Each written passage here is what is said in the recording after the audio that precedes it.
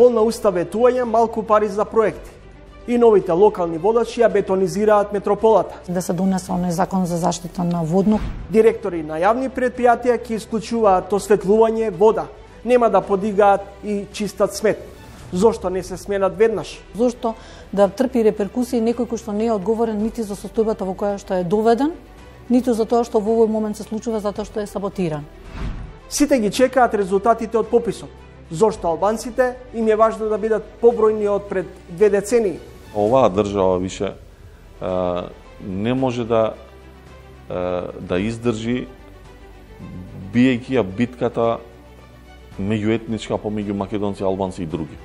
Горан Стефановски се врати меѓу своите скопјани во Дебармаал. Тој смета дека идентитетот се реобмислува, се проверува, се потврдува, се обликува секој ден. Срекни пензионери со илјадарка бонус и нова жена за младиот Берлускони. Берлускони долго време ерген одеше, со жени 85 години, со нормално помлада, пошто постари нема многу.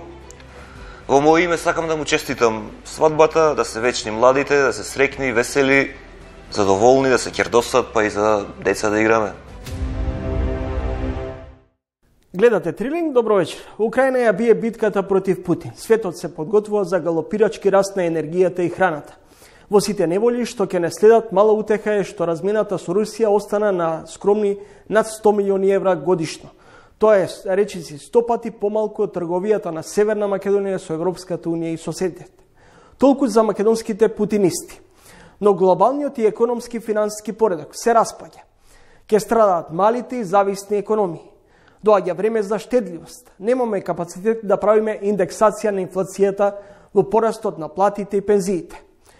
Колку порано се соочиме со бруталната реалност, толку подобро за сите. Задолжувањето на државата не може да биде со нескромните министри и пратеници, забработување на партиски војници и богатење на грбот на граѓаните. Ова е дел од неделниот преглед на настаните што не од слика во изминативе неколку дена. Ние сме освесен и несвесен раскол и со светот и со себе самите и внатре меѓу нас во беспоштетна борба, нетрпеливост, отровна пизма, мерење на цени с двојни аршини. Приказната за силјан штркот е приказна за таквиот расцеп, за изгубеност, за лутање, за незнаоѓање, приказна за травма и за слом, накусо речено приказна за криза на идентитетот. Горан Стефановски, македонски драмски писател, академик, университетски професор, драматург. Во животописот мора да се спомене дека живееше во подземјотресно Тафталич, работеше во Велика Британија. Ке ми треба барем половина од емисијата да ги следиме неговиот пат на својвидна урбана легенда. Во центарот, во центар, во неговото дебармало, неговиот драмски театар, на чија сцена се промовирани и гледани Диво месо, дупло дно, Јане Задрогас, Ледво место, тетовирани души, се подготува да се одигра и адаптација на неговите дела, неговите диалози, неговиот цинизам со представата. Моето име е Горан Стефановски. Господа Куновска, Горан Стефановски во својот говор во Академијата во Ману говори за криза на идентитетот. И одново и одново ние се соочуваме со криза на идентитетот. Трагаме по собствениот идентитет. Знаеме ли кој сме, што сме и какви сме? А, Горан Стефановски умее да каже многу повеќе и за себе и за времето во кое живееше, отколку што можеме ние останатите. Кога ме прашувате за потрагата по идентитетот, Горан Стефановски е еден од редките кои што го дефинира идентитетот како нешто кое што не е зададено еднаш за секогаш. Како и слободата.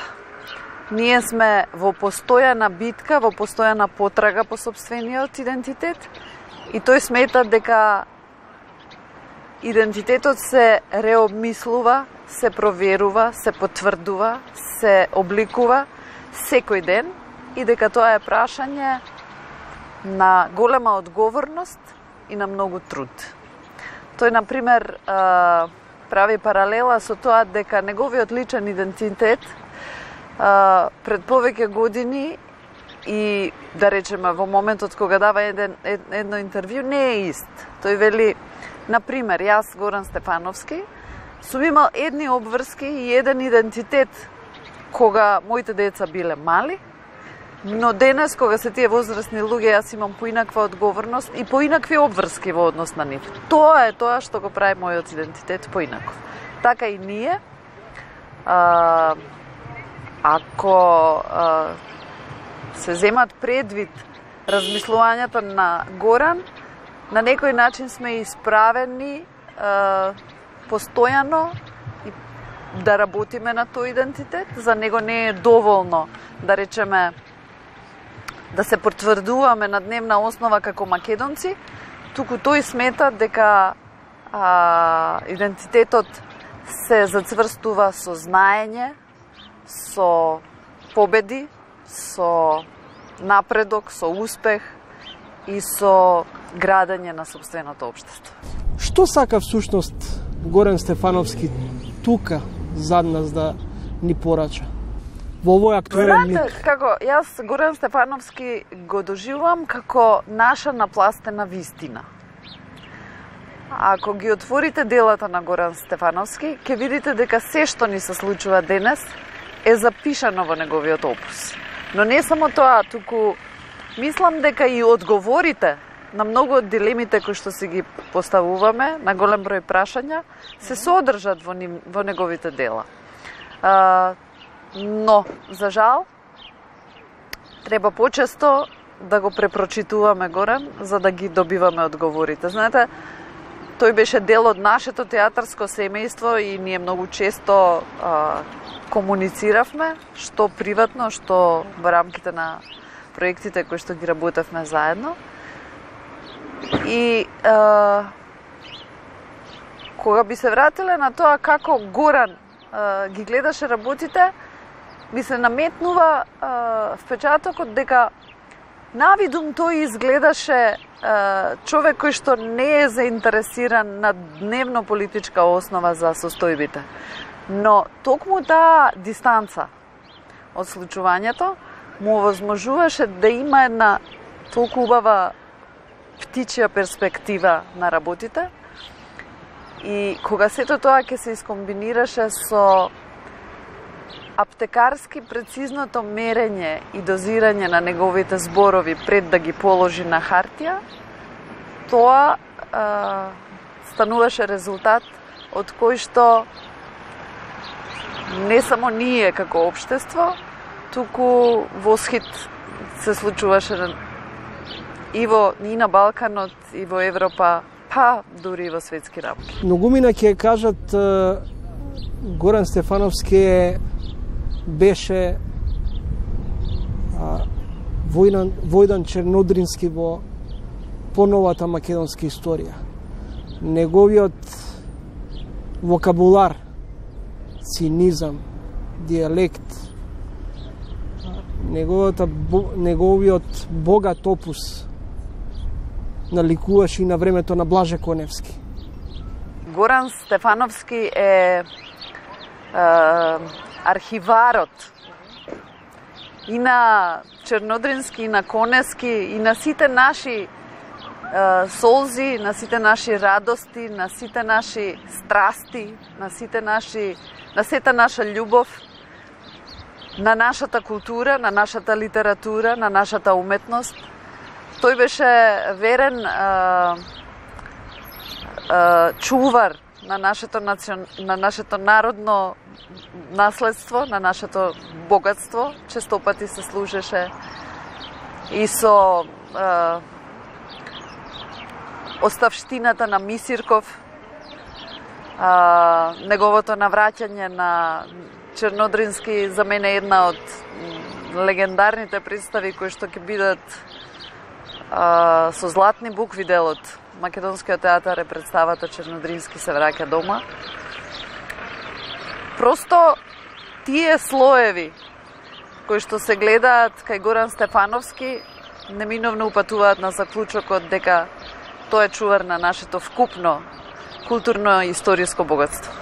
Куновска иднината никако да дојде, минатото никако да си отиде, а ние овде глумиме сегашност.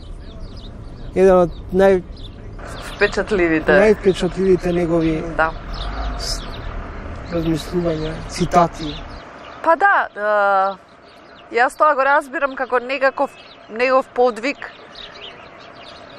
односно поттик да не натера да исчекориме од тоа што ни се случува. За тоа треба храброст, за тоа треба труд, треба работа. Кога само а, дел од неговата посветеност би била а, одлика на секој од нас, ние тој исчекор би можеле многу полесно да го направиме. Моето име е Горан Стефановски, премиера идната недела. Каква порака носи новата представа? А, да ве поправам, представата носи наслов My name is Горан Стефановски. Зошто? Бидејќи сите своји говори надвор од Македонија, Горан ги започнуваше со таа реченица. И затоа сакавме во оригинал да остане насловот My name is Горан Стефановски. А, представата е, е фрагментарна драматуршка спојка од е, повеќе негови дела, а, напишани помеѓу 1987 и 2012 година, што представува практично најтурбулентниот период не само во Македонија, туку во а, регионот. А, ги опфаќа делата а, Црна дупка, Лонгплей, Каза Балкан, Евроалиен, Европа, Сараево и Одисеј. А, пробувајќи да се најде најмал заеднички содржател, практично повторно се враќаме на темата со која што го започнавме а, овој разговор, а тоа е идентитетот и слободата. А, во време во кое што моќта и, и, и интересот стануваат доминантни обштествени категории, луѓето се почесто се распнати помеѓу она што представува нивна лична потреба за сигурност и правото на а, слобода. Така, а, честопати сме из, изложени на, на, на преоценување, на превреднување на вредностите во обштеството во кое што живееме, на преоценување на вкупните состојби и, за жал, некаде загубени во таа борба за правото на своја слобода и, од друга страна, сигурноста. Зошто се уште имаме сомнеш во собствениот идентитет? Затоа што не работиме на него на начин на кој што тоа треба да се подразбира во 21. век. Куновска, дали меѓу поновата актерска екипа, поновата генерација на актери препознавате драматурзи, препознавате некој нов Горан Стефановски? Неизоставно е да се спомене тоа дека Горан а, не го даде својот придонес само како драмски писател и туку и како педагог. Тој а, произведе повеќе генерации на драмски писатели, од кои што за среќа го имаме Дејан Дуковски да речеме, кој што стана а, писател, драмски писател кој што за кој што интерес покажа многу сериозни куќи не само на Балканот, туку и ширум Европа. Подолг период не сте во политичките води. Од оваа диоптрија, како ви изгледа актуелниот политички колаж? Подолг период, не само последните години, туку може би повеќе од една деценија, на Македонија и се случува комплетна деелитизација. Дојде време во кое што секој човек што ќе посака може да биде се што ќе посака. Многу одамна а, вашите квалификации, вашите способности, вашите искуства не се пресудни за тоа дали ќе добиете по- политички ангажман или не. За жал за владе клиентелизмот и а, на политиката во Македонија се помалку и се потребни индивидуалци кои што сами по себе Зошто се доведовме до состојба на изгубени вредности? Па заради тоа што за жал многу од работите во нашето општество се детерминирани од политичките елити, а е, со политичките елити завладеа луѓе кои што не можат да го во наводници или може би без наводници, да го контролираат интелектуалниот потенцијал на оние луѓе кои што можат да донесат промени во општеството и се одлучија дека полесно ќе им биде со луѓе кои што ќе бидат послушни за возврат ќе ја добијат а, поддршката од партиските поглавици. Куновска ми беше задоволство да разговарам со вас покрај Горан Стефановски во неговото Дебар Мало и ви посакувам успешна премиера. Ви благодарам многу, чест ми беше. Подготвуваме штрајк. А, ти го патите Господ за брат. Нема да биде обичен, овој пат ќе каснеме токовска, ќе пати гангрена. Пиварата глубоко ложил ни. Дриблате, дриблате, а голови? Набиваме кондиција за да ги издржиме оние 90 минути на теренот, головите ќе си И дојдат. кога ќе дојдат И голови? кога ќе ни се придружиш и ти? А, тука јадецот. Многу се таквите што сакаат да седат по публика, да грицкаат ценки и да чекаат голови, а треба да се трча и да се Да трча. се трча, да се трча, мене лекарот ми забранил да трчам. Управниот одбор на ЗЕЛС брои 22 члена и тие 22 члена доаѓаат од сите политички провениенци, вклучително и од власта и од опозицијата, и сите подеднакво се наоѓаат во истата состојба во која што секој еден поединечно се наоѓа во собствената општина. И верувам дека доколку управниот одбор на ЗЕЛС донесе одлука за било какви чекори и постапки, пост ова кое што го видовме сега најава за закажување на датум дека ќе се одржи состанок меѓу управниот одбор на ЗЕЛС и владата во термин од 21 до 23 март кој како термин веќе помина. А, јас верувам дека на следната седница на управниот одбор на ЗЕЛС дека ќе се донесат соодветни мерки кои чекори ќе се преземат, доколку не се изнајде заедничко решение во интересот на граѓаните. Па во уставот на пример употребата на јазикот е, условена со или ја знаете она несрегна формулација јазикот кој го зборуваат повеќе од 20%, а сето тоа се мислеше и се мисли уште на албанскиот јазик. Мислам дека крајно време да се ослободиме од ваквите анимозитети и предрасуди. Ако на сите ни е јасно дека се зборува за албанскиот јазик, ќе треба да напишеме јасно и кратко албански јазик за да не тоа зависи од некои бројки, па да во секој попис, каде секаде во светот е тоа нормална статистичка операција, само кај нас да биде е, политичка. Јас сум убеден дека најможните добри, релевантни е, резултати кои во, во држава каква што сме ние може да се добијат, Финансиската состојба на македонските општини станува се подраматична, кулмира на повеќе фронтови.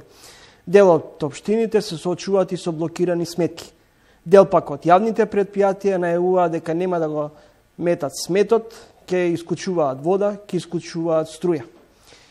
Се уште не може да се најде заеднички јазик меѓу локалната и централната власт.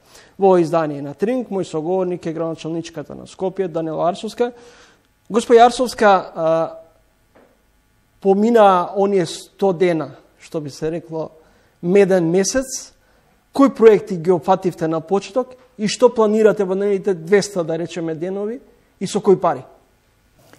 Добро што се однесува до градот Скопје, доколку дискутираме конкретно како градоначалник на градот, за нас ниту еден ден немаше да се дозволи, што се вика без обструкции, да функционираме. Од првиот ден бевме а, за жал мета, ако можам така да кажам, на се она кое што може да се направи за да не се дозволи а, континуирано да се движат тековите и да се дозволи да се покажат некакви резултати во првите 100 дена, кое што мислам дека го изменаџиравме на вистина добро, особено од аспект на тоа дека сите оние работи кои што беа ветени за првите 82 дена од мандатот ги реализиравме токму онака како што ги видевме пред овие избори. Она кое што го планираме е да се реализираат оние капитални проекти кои што се најавени, кои што ги бочетиравме на почетокот на годината.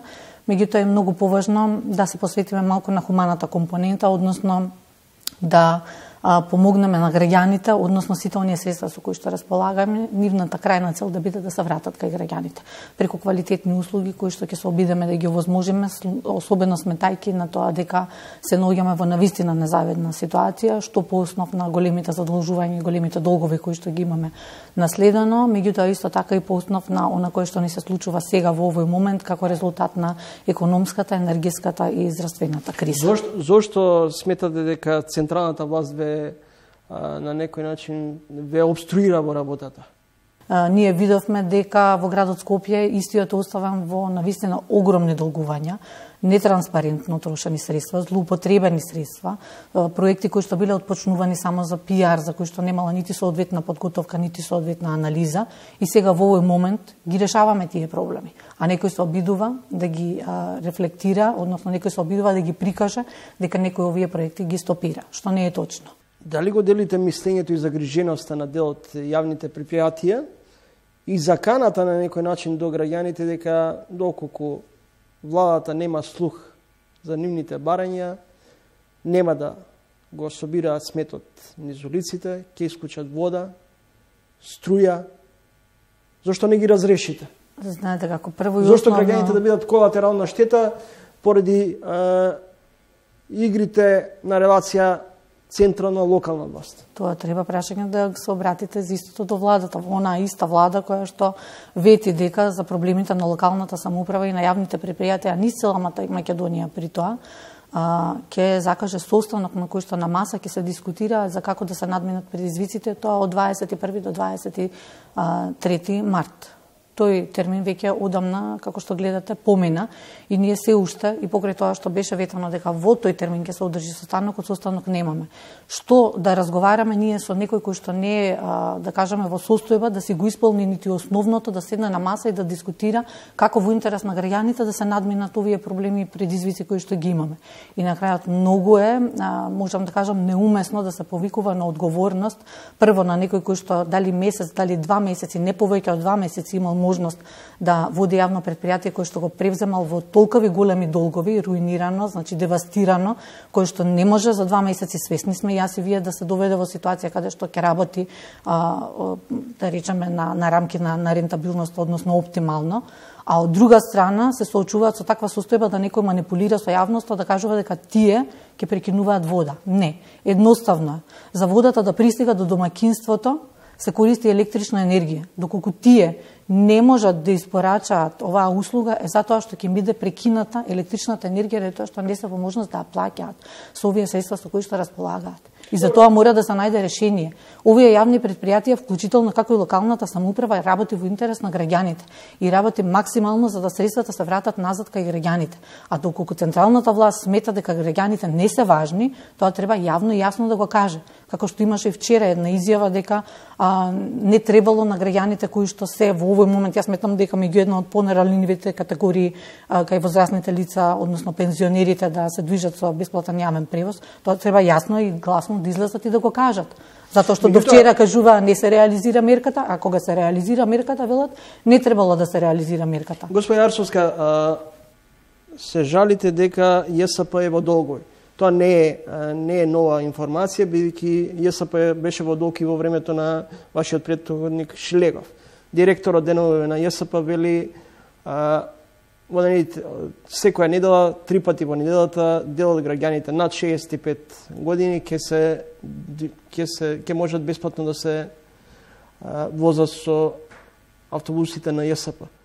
Од каде тогаш средства и не ли изгледа помалку контрадикторно од една страна сте во долгови до гуша, од друга страна повторно издвојувате пари од буџетот Некој вчера велеше го нема бесплатниот превоз, сега денес кога им се враќа на оваа категорија бесплатниот јавен превоз кој што претходно им беше укината како привилегија, велат а, зошто тоа се прави.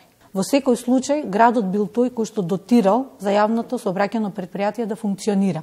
Меѓутоа, девастирано е јавното сообраќајно предпријатие долговите се дуплирани и се триплирани. Се соочува со навистина големи предизвици од аспект на обструкции. Дали зарем пред три а, месеци можете да ми кажете доколку ги извадиме статистиките колку пати во денот во јавното сообраќајно предпријатие, Министерство за внатрешни работи ги испраќало сите автобуси на технички преглед, за разлика во овие изминати три месеци, секој дневно за да граѓаните не можат да си пристигнат во соодветното време на своето работно место, за да граѓаните кога ќе дојдат на автобуската станица не знаат кога ќе пристигне јавното од јавното сообраќајно предпријатие автобускиот превоз. Дали граѓаните на на Скопје може да се соочат да ни центарот се движат во мрак, во смет и без вода? И може ли да ни се случи реприза на 2001 со Липковското езеро кога го ги секна вентилите за вода? Ова прашање треба да го поставите до, врада, до владата. Едноставен одговорот. Во локалната самоуправа се а, трошеле средства, се луксузирало и во тој момент владата одлучила со 50 милиони да им ги намали долгувањата. Сега во овој момент ние не зборуваме владата на некого да му помогне туку зборуваме за владата собствените а, обврски кои што се ги има по основ на дотации, по закон, значи таа е должна со дотации за оние работи кои што ги има пренесено во ингеренција на локалната самоуправа да се ги сервисира.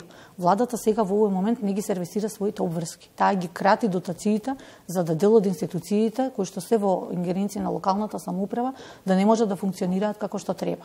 На неколку наврати јавно ве слушам дека и како градоначалник на Скопје и како председател на ЗЕЛС дека ако владата нема слух, вие како градоначалник и како председател на ЗЕЛС ќе ги радикализирате вашите позиции? Тоа не се мои ставови. Тоа се ставови на управниот одбор на ЗЕЛС. Управниот одбор на ЗЕЛС брои 22 члена и тие 22 члена доаѓаат од сите политички провениенци, вклучително и од власта и од опозицијата, и сите подеднакво се наоѓаат во истата состојба во која што секој еден поединечно се наоѓа во собствената општина. И верувам дека доколку а, управниот одбор на ЗЕЛС донесе одлука за било какви чекори и постапки, пост ова кое што го видовме сега најава за закажување на датум дека ќе се одржи состанок меѓу управниот одбор на ЗЕЛС и владата во термин од 21 до 23 март кој како термин веќе а, помина. А, јас верувам дека на следната седница на управниот одбор на ЗЕЛС дека ќе се донесат соодветни мерки кои чекори ќе се преземаат доколку не се изнајде заедничко решение во интересот на граѓаните. Затоа што на крај интересот на граѓаните е што е директорите на јавните предпријатија за да ги санираат дел од последиците, да рационализираат дел од трошоците? повторно да се вратиме, втор пат го поставувате прашањето зошто да трпи реперкусии некој кој што не е одговорен нити за состојбата во која што е доведен, ниту за тоа што во овој момент се случува затоа што е саботиран. Хипотетички да да да предпоставиме дека ќе се сретнете со премиерот и владините представници. И истото се случи како пред неколку години да ви дадат повторно финансиска инекција од 50 на милиони. Дали тоа ќе биде доволно за затворање на финансиските дупки? Сега хипотетички да зборуваме, ништо нема да е исто како пред неколку години кога се давала помош за да се санираат штети кои што се настанати врз основа на непродуктивно трошење или луксузирање. Ние сега разговараме за како да седнеме и да не изнајдеме реално решение при тоа оние барања кои што ЗЕЛС и сега говорам нели од име на ЗЕЛС затоа што ги доставивме таму барањето од името на сите 81 општина кои што се на територија на Македонија не се состојат во финансиски мерки туку во мерки во кои што ќе успееме да најдеме решение кои што ќе биде долгорочно за како ова што сега што ни се случува да не се случува повторно. За какво реално решение вие вие преферирате? Што би било реалното решение? Има има повеќе работи кои што може да се превземат, значи мора да а, бидеме исто така и на иста линија дека и основните и средните училишта мора да се прилагодат во делот на тарифирањето, а особено кога се наоѓаме во енергетска криза, како и градинките да бидат на онаа тарифа на домаќинствата, а не како индустријски објекти. Значи првенствено ова се работи кои што се а, од јавен интерес и веруваме дека треба да се излезе во пресрез затоа што овие трошоци кои што во овој момент се генерираат, на вистина се неодржливи, имајќи во предвид дека и самите овие институции се пренесени во локалната самоуправа како ингеренција од страна на централната власт, за која што централната власт требаше да дава дотации, кои што дотации секоја година ги крати. Еве оваа година веќе повеќе од 15% овие дотации кои што се обврска практично на владата се скратени. Арсовска, според одредени податоци, најмалку 50 на 100 од општините не сакат и не можат или пак стравуваат да ги соберат приходите од даноците. Тоа апсолутно не е точно. Апсолутно не е точно. Оваа тема сме отвориле повеќе пати, се соочуваме со проблеми со Агенцијата за катастар на недвижности, која што одбива практично да ги даде податоците на општините како тие би можеле да извршат наплата на данокот на имот за да има правично и праведно даночување кај а, даночните обврзници. Затоа што сега во овој момент граѓаните дел плаќаат, меѓутоа поголем дел не плаќаат ништо, токму затоа што не се исполнети условите за тие да ги добијат информациите на кого какво решение за наплата на данок на имот треба да му се испорача. Ова е обврска на Агенцијата за катастар за недвижнини, која што едновремено беше побарано да ги достави податоците. Согласно законот, тоа е обврска и ние сме обврзани а, од Министерството за финансии со нивните правилници практично да ги прибираме овие даноци, а од друга страна сме оневозможени затоа што Агенцијата за катастар на недвижнини не не а, не ни ги доставува овие податоци. И ова е проблем суштински со кој што се соучени сите општини скоро низ Македонија и јас верувам дека доколку се овозможи праведно и правично оданочување дека и повеќе средства ќе има за да може да се вратат кај граѓаните и граѓаните да добијат подобра услуга, меѓутоа пред се граѓаните ќе се чувствуваат дека истите а, се подеднакви со нивниот комшија кој што во овој момент не плаќа ништо.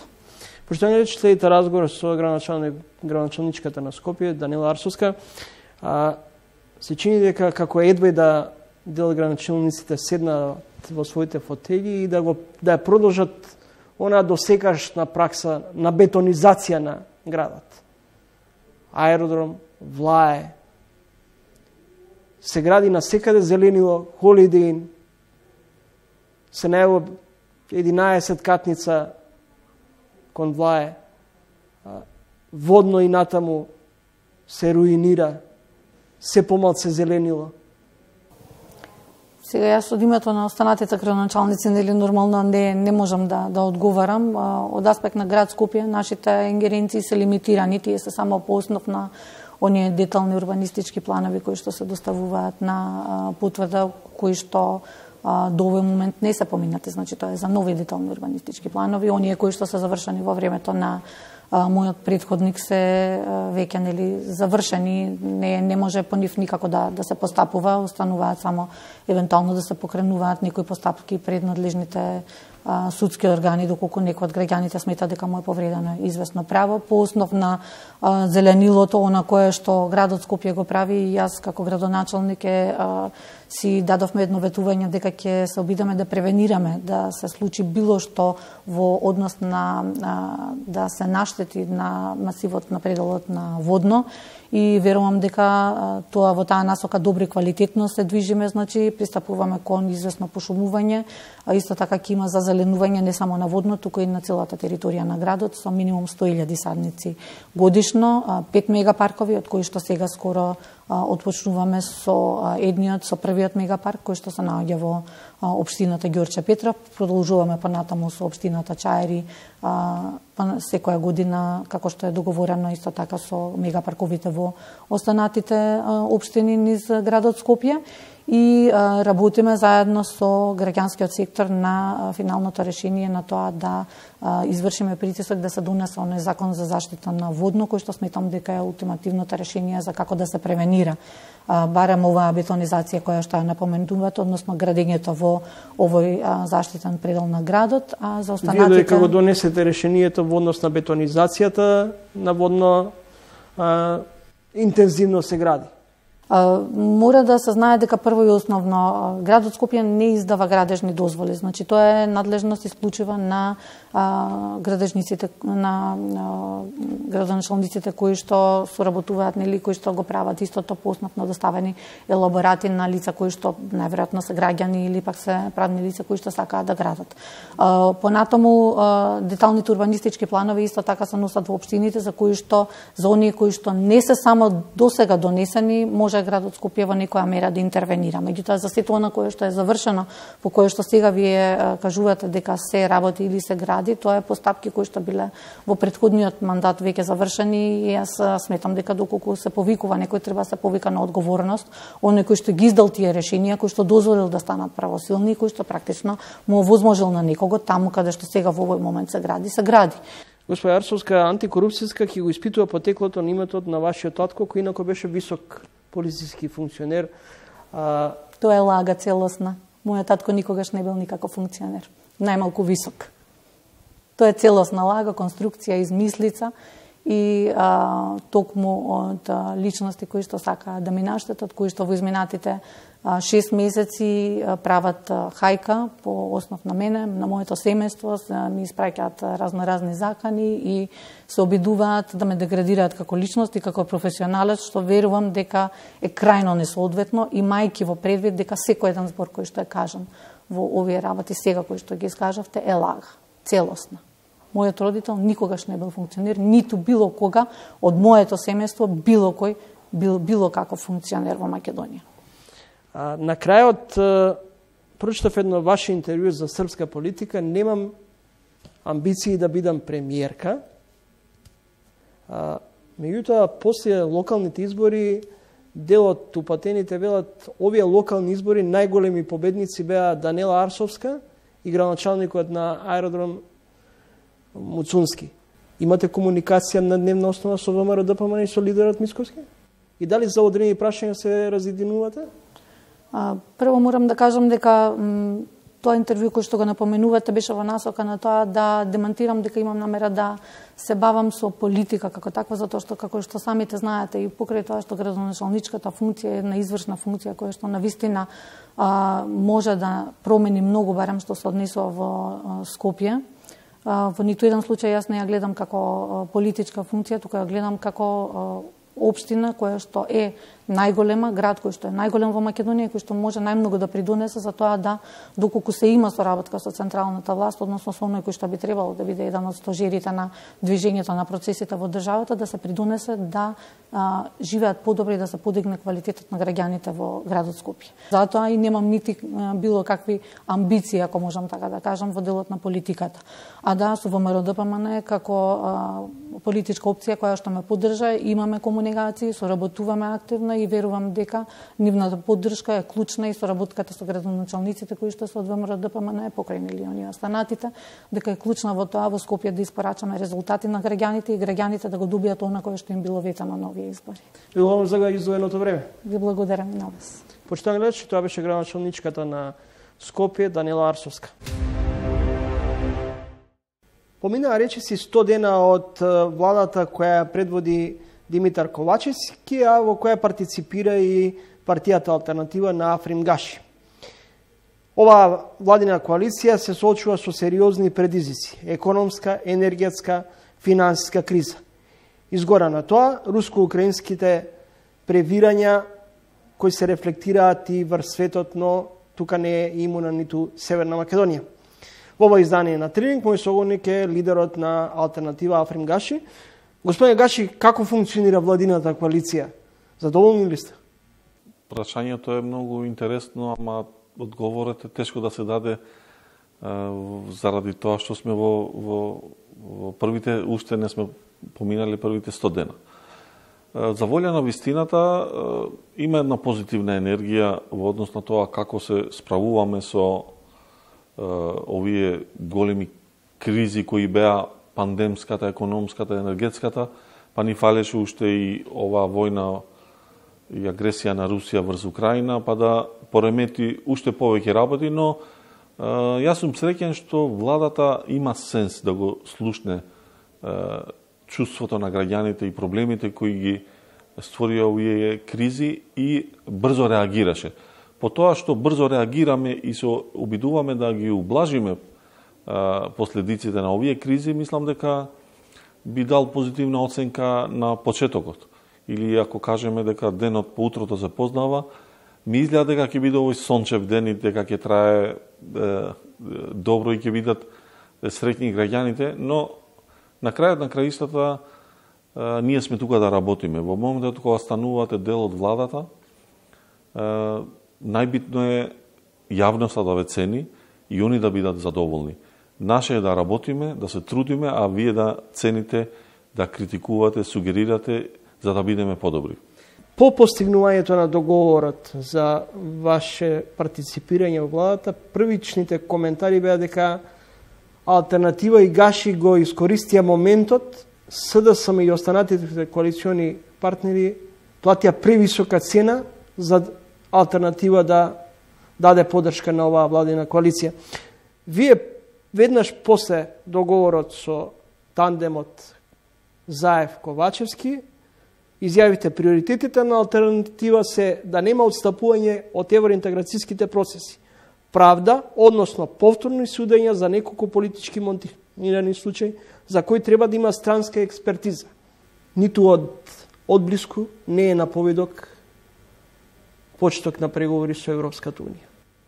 Проблемите околу правдата и натаму остануваат. Реформите во правдата и независноста на судството се клучни. Прво, во никој случај не беа ултимативни, а и вториот израз кој го употребивте и кој се користи во јавноста дека сме го искористиле моментот и тоа не е точно. Ако ги видите кои ресори и кои функции и позиции ги превземавме за управување, тоа би рекол заеднички именител на сите тие може би е каде што се најголемите проблеми. Така да ние бевме критикувани од нашите пријатели зошто се нафативме да управуваме со вакви тешки ресори. Така да, ако гледаме реално на сликата, алтернатива се нафати да ги реши е, е, најголемите проблеми во државата, за една млада а, и помала политичка партија како трет партнер, а, не би требало тоа така да биде, затоа што поголемите треба да го сносат, да ја сносат таа одговорност, но јас сум човек од предизвици, алтернатива е партија која бара предизвици, ние сме убедени во нашиот квалитет и луѓето кои, кои ги имаме во нашата партија, и сме убедени дека можеме да дадеме во оваа држава, во ова општество, луѓе кои можат да ги подобрат процесите во државата. Ние сакаме е, да дојдеме до независно, фер и кредибилно судство. А, но дали кој во моментот дали... го нем... кој во моментот го немаме? Го немаме. Го немаме. Сигурно е така. Дали е, алтернатива е крива што граѓаните не веруваат во овие процеси дека се судени фер и демократски, мислам фер и праведно. Не. А, значи, овие процеси се монтирани и перцепцијата кај граѓаните, во овој случај македонско-албанска, е дека има етнички елемент во, во овој процес. Ние сакавме и сакаме меѓународна институција да дојде да ги увиди, за да не биде судството да, да не го има товарот дека суди по етнички пристап, туку заради владење на право и праведно. Се што сака алтернатива да направи однос на владење на правото е да имаме независно судство, да имаме праведно судство, да ги поставиме судиите што се најдобри во најдобрите места, најклучните места, Не дека немаме е, добри суди, имаме одлични суди. Имаме одлични професионалци во сите сфери. Само ни треба да бидеме умешни како политичари, да најдеме простор да ги поставиме или да најдеме механизми како најдобрите да дојдат во најклучните е, позиции. Само така можеме да, да дојдеме до, до правдата, до вистината и до добриот квалитетен живот во државата. Бидејќи ни, ни оддалеку не се гледа дека Северна Македонија наскоро би ги почнала преговорите со Европската Унија, а зашто една од причините и главните мотиви поради кои поради кои влеговте во владата беше токму евроинтеграциите. Дали може би сега е безпредметно вашето учество во владата? Не, во никој случај. Тоа е еден од најголемите наши приоритети. Не би сакал да се навратиме на декември кога беше многу битно дали ќе има капетан или пилот во авионот. Дали ќе има влада во Скопје беше многу, многу битно. Да не беше, да не, немавме влада тогаш, ќе бевме ние виновниците зошто тој процес не имал позитивен епилог.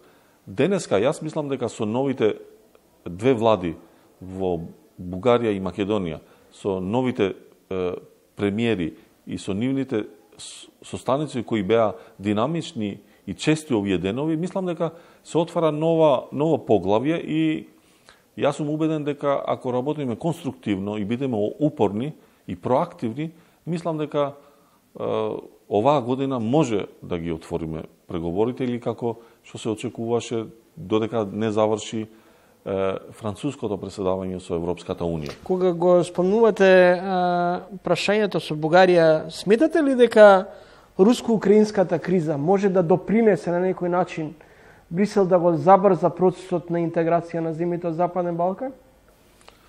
Па... За Русија на некој начин да не го искористи овој меѓупростор за пригрупирање на политичките сили на Балканот?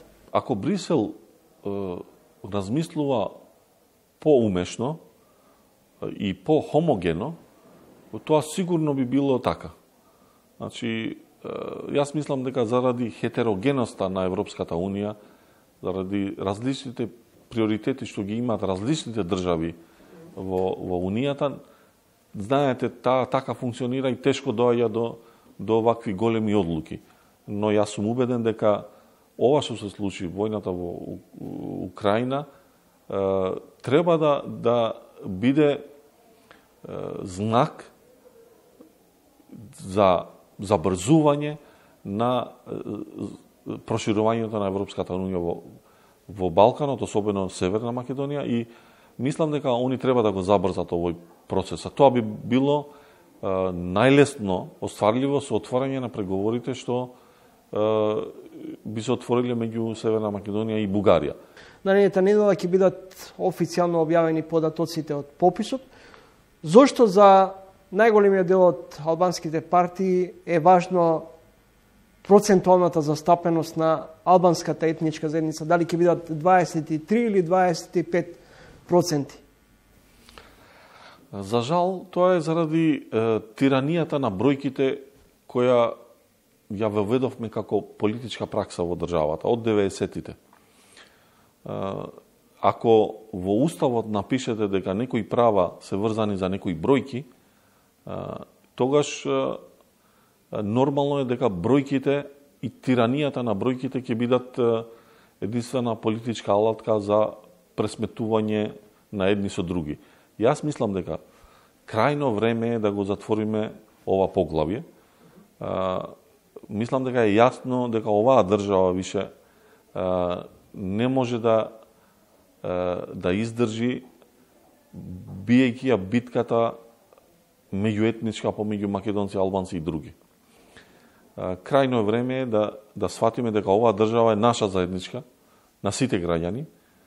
Треба да направиме се оваа држава да биде праведна, правна, функционална, да се живее достоинствено во оваа држава, без разлика кој од која етничка или друга припадност е, а најмалку да биде битно кој каква процентуална застапеност има.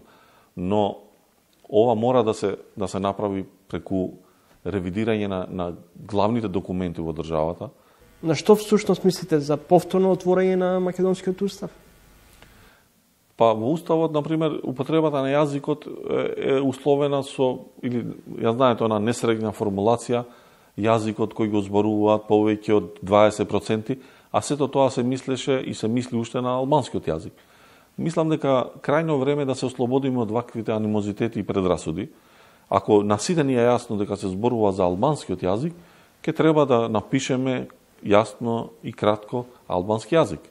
За да не тоа зависи од некои бројки, па да во секој попис, каде секаде во светот е тоа нормална статистичка операција, само кај нас да биде е, политичка. Јас сум убеден дека сега ќе ги имаме нај можните добри, релевантни а, резултати кои во, во држава каква што сме ние може да се добијат. Почна процесот околу измена на изборниот законник.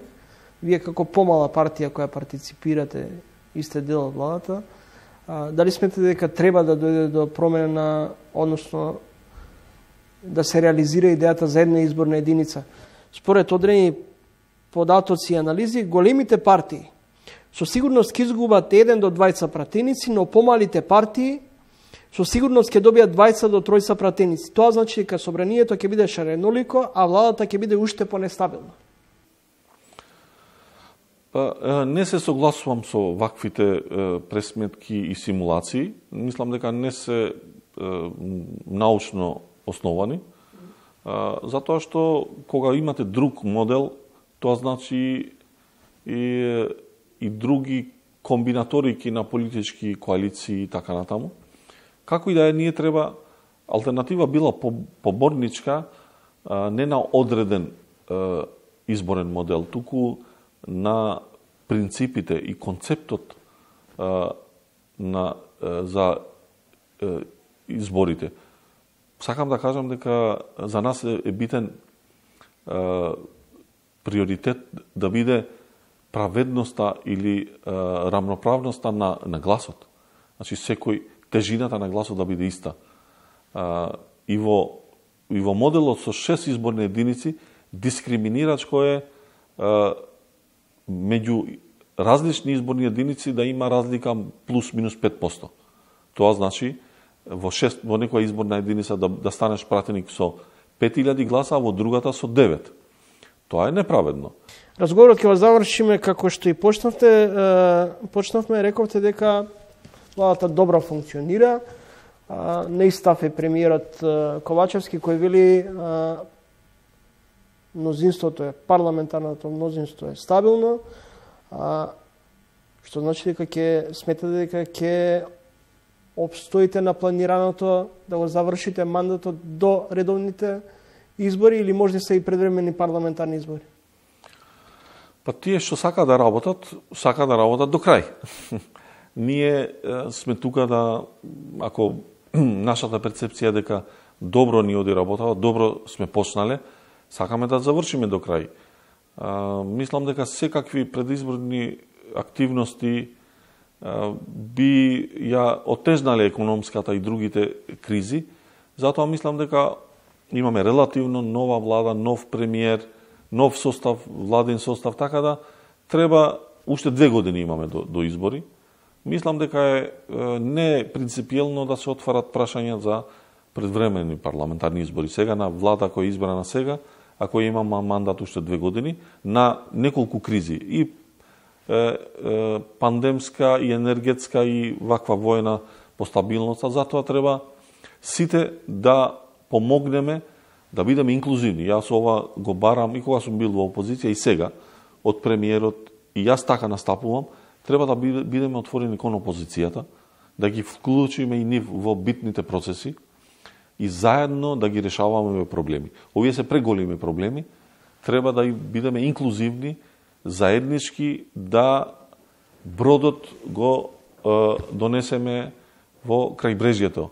Па ако ја премине, поминеме кризата потоа, многу е по малку релевантно и битно кој ќе победи на наредните избори, колку што е побитно да ја преминеме оваа криза.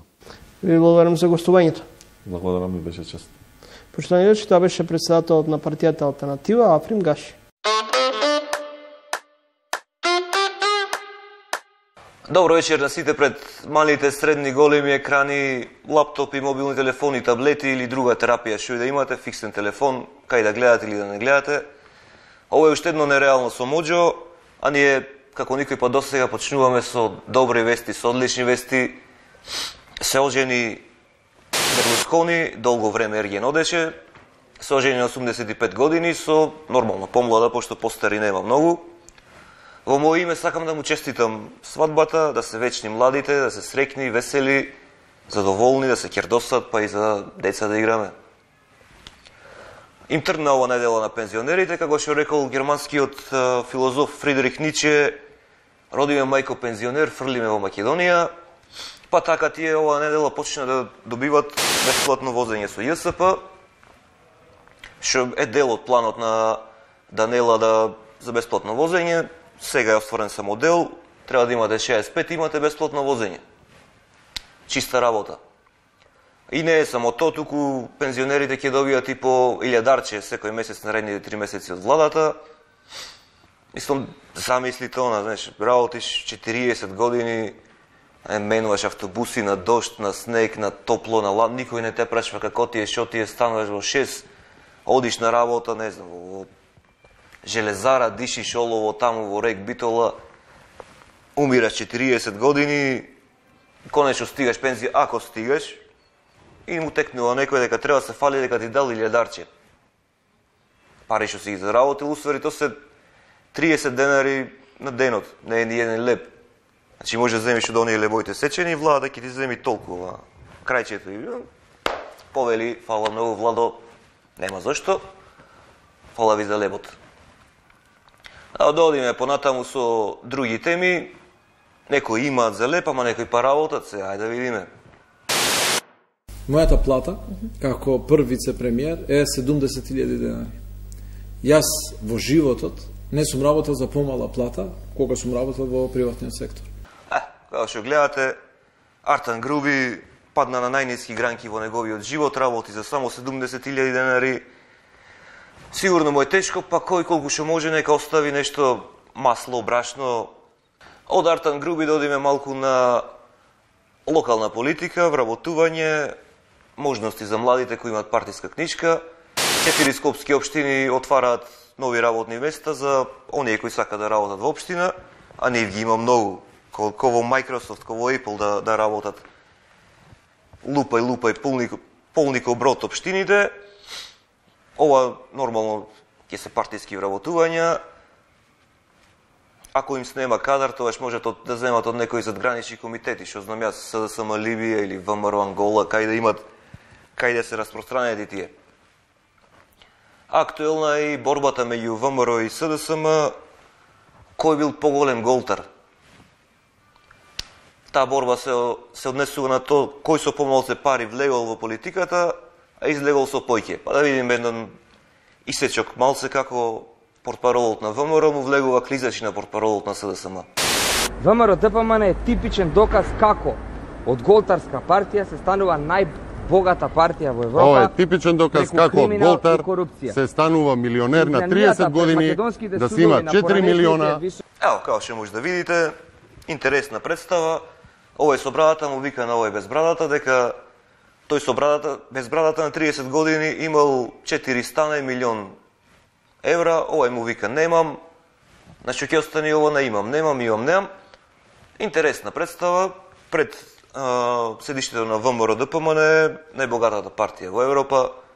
Нормално седиштето изградено со наши пари, свечето народ по златите и све ова смешно интересно дур не сватиш дека ние ги плаќаме овие представи.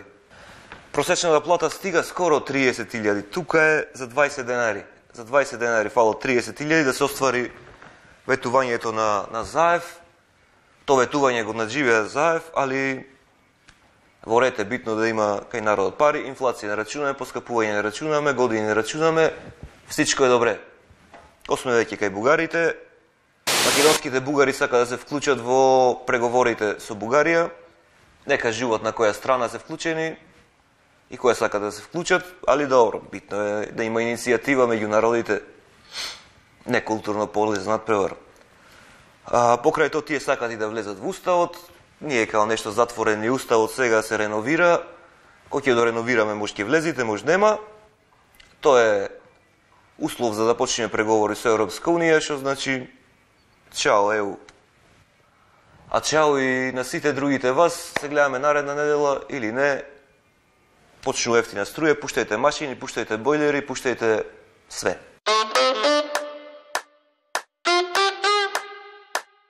Тоа беше се за ова издание на емисијата. Трилинг ви закажува нова средба за 7 дена во исто време, петок 20 часот и 45 минути. Изборот на темите и содржините е наш, а за тоа што ќе гледате, секогаш одлуката паѓа на вас. Довидување.